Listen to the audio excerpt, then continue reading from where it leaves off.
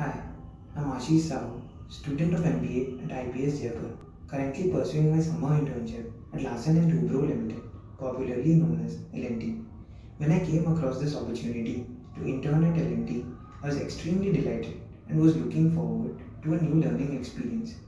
When I look back and speak, I realize my experience has been way more than what I expected.